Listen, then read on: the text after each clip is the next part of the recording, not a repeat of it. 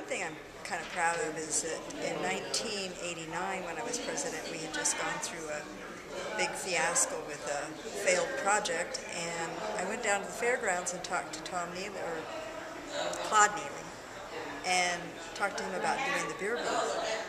And so that summer was the first year that we took over the beer booth. We made more money in that project than we had done in anything else we'd done. And we're still doing the beer, beer booth. I understand they just did it this year, and I think that's great. It's a good way to make money. Um, another thing I'm pretty proud of is the club donated $1,000 to the Laurel Society for me, and I thought that was really a good honor. And I have the pin and wear it to the club all the time. I think that's kind of nice. The first year I was president, my project was um, supporting a young woman in the Philippines when she was going to nursing school. And she was able to graduate, and we followed her for a couple of years after that.